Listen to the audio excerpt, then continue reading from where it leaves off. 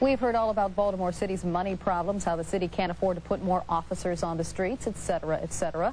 So why is the city doling out $350,000 to spruce up Memorial Stadium? Keep in mind they're thinking of tearing Memorial Stadium down. As Frank Graff reports tonight, even those who live around the stadium are wondering why. The city may still be debating what to do with Memorial Stadium, but they've decided the grounds weren't as green as it should be. So the city is landscaping the entire stadium lot.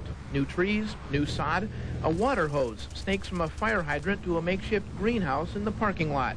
All those trees will grace the grounds too. 303 trees, four different species, and 4,000 shrubs, five different species. And it's not just the front of the stadium that's getting a facelift.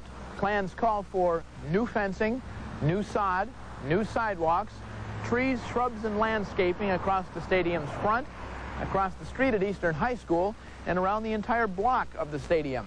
Total cost, $350,000. Jerry Perkins and his daughter Carrie live near the stadium. They like the new look, but wonder why all the money is being spent by a city strapped for cash. I think uh, it's, it's good for the, the uh, community, for the area. It makes the uh, area look uh, a little better. It spruces up a little bit. Does it make you wonder what they're going to do with the Eastern and the stadium? I think that's a big question with a lot of the people that uh, live here. You know, they're trying to figure out what's going on. It might be so many um, different sports teams that Baltimore's trying to get. Who knows? Maybe they're not going to tear it down. So why all the landscaping? Well, city officials say the trees are permanent, part of the long-term plans for the stadium site. It also keeps Mayor Schmoke's promise to the neighborhood not to let the place fall apart. And the fact the All-Star game is coming doesn't hurt either.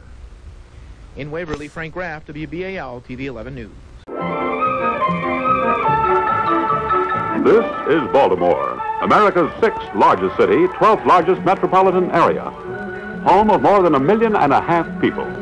Site of the nation's biggest steel rolling plant. Home for the House of McCormick, this country's biggest tea and spice house. America's second seaport. This is Baltimore. This old film, narrated by Keith McBee back in the late 50s, is titled This is Baltimore.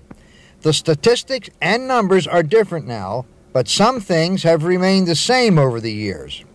However, for the most part, Baltimore has been a city of change.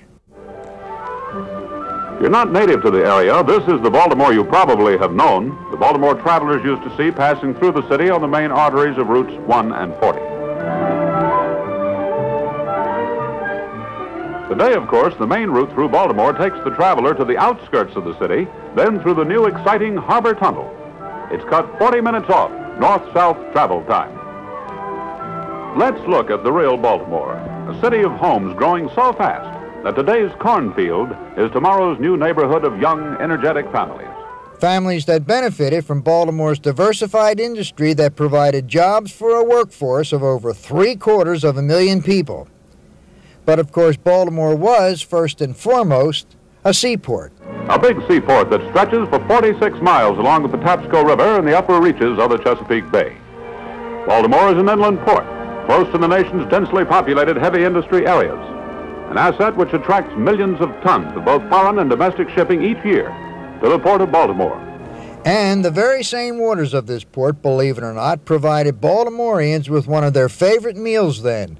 And now, steamed crabs. Like I said before, some things haven't changed at all.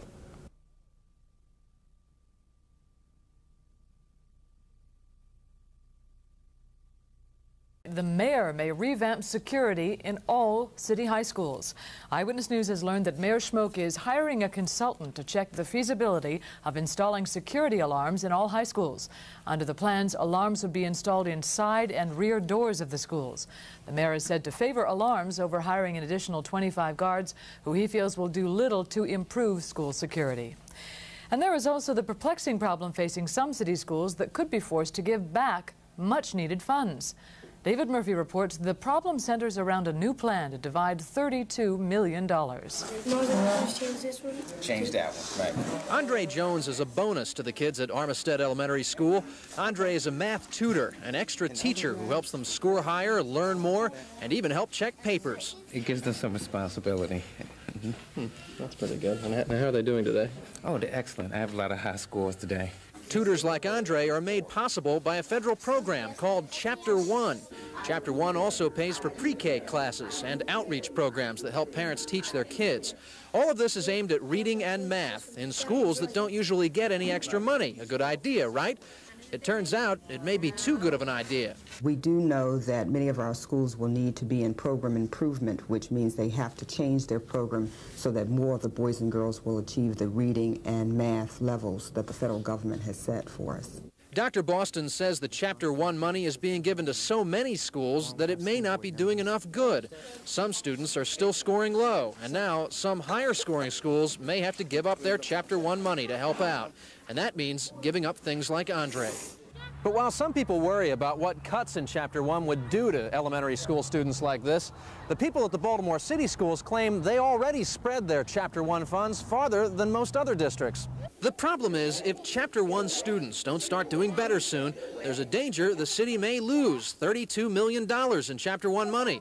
But which schools will have to give up the most has some parents anxious. If they're going to take away the tutors, you know, what's going to happen what to the other kids? Are they going to end up re repeating grades? No one knows yet where changes will be made or when they'll be announced, but some are already counting down the days. One, two, three. David Murphy, Channel 13, Eyewitness News.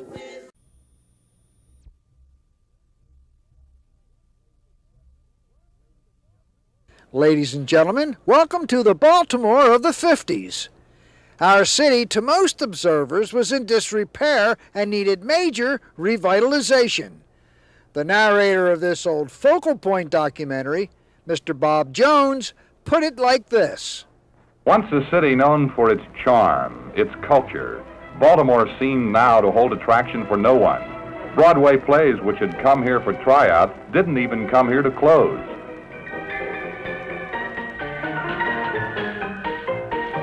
But a different kind of culture flourished. Why stay in a city which lacked business, lacked culture, lacked recreation facilities? Why live in a city withering in decay? Why bother about Baltimore at all? It really didn't seem all that bad to me, but folks in charge with an eye on the future knew something had to be done. Meet Bill Boucher, one of our city's top movers and shakers, and back then, director of the Greater Baltimore Committee.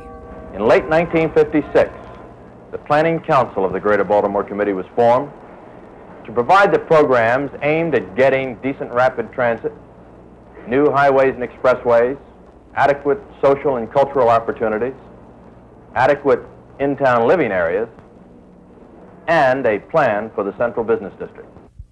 Whether or not those folks succeeded in all that will probably be the topic of another Now and Then segment. But really, all you have to do is travel downtown and take a look. There have been some changes made. And those of us who remember the way it used to be can appreciate what Baltimore has become.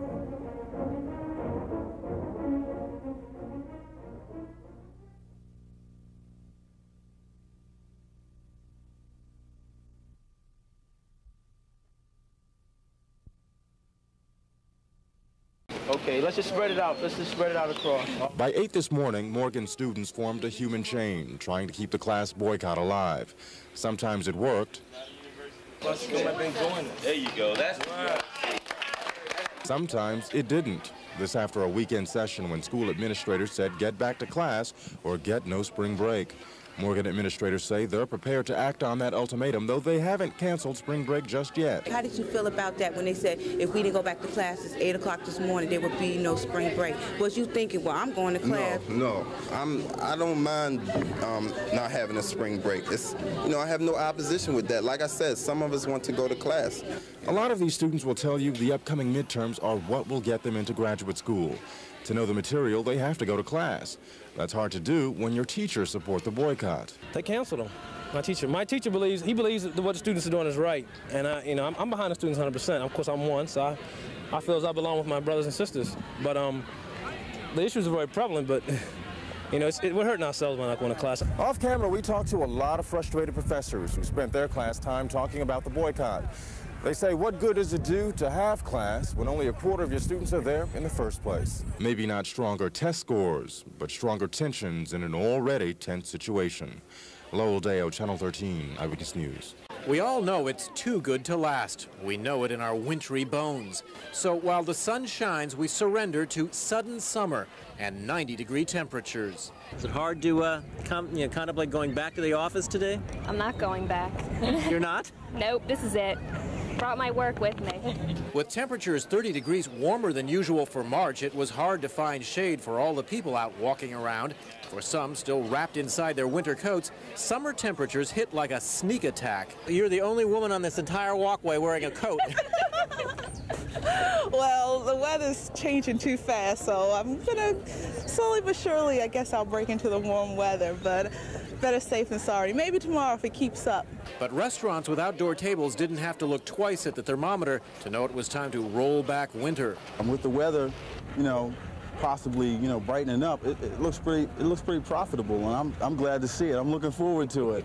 Paddle boats also did a good business while those who get paid for minding it deserted boardrooms and offices. You supposed to be out here?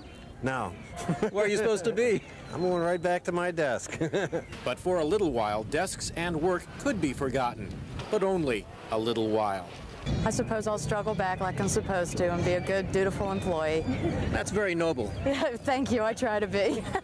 After all, it's hard to be noble when there are ice cream cones and a sudden summer to savor. Alex Dimitri, Channel 13, Eyewitness News.